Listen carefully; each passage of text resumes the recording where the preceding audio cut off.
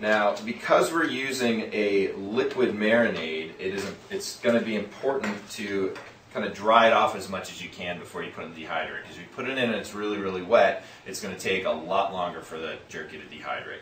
So we have some paper towels laid out here. We're just going to take this meat and lay it out on the paper towels, spread it all out. The paper towels on the bottom will, will, will start to absorb the marinade on the bottom of the pieces.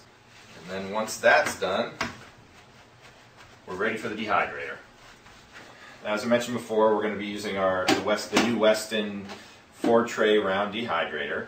Um, you know, one of the great things about this, you can see, it's pretty small and compact. So compared to using a smoker, you know, it's just it's a lot more portable, a lot more convenient. You know, the other big difference between using a dehydrator and a smoker is when you're using a dehydrator, you're going to be able to remove a lot more of the moisture from the meat than you would when you're using a smoker, and so the jerky's going to last a lot longer. You'll be able to store it for you know months at a time as opposed to you know weeks at a time when you're using a smoker.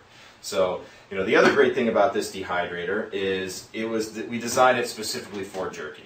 So it's extremely simple and foolproof to use. You, you basically, there's one button, and that's to turn it on. And you basically turn it on, and you can forget about it. So what we're going to do is it comes, like I said, it comes with four trays, and they're stackable. So we're going to take, take them all off but the bottom one, and we're going to lay this out, spread this out on the bottom tray first. And then once that's filled up, We'll take the next tray, fill it up, and as you can see, we're only going to be able to fill up two trays of the dehydrator. So the other great thing about this is if you're not using all the trays, you don't need to use them all. You can just put the lid on the first two. And when you're doing a smaller batch like this, it has, you know, there's less space for you know to heat up, and so it's gonna you're gonna be able to finish your jerky in a quicker amount of time. So again, you're just gonna turn it on.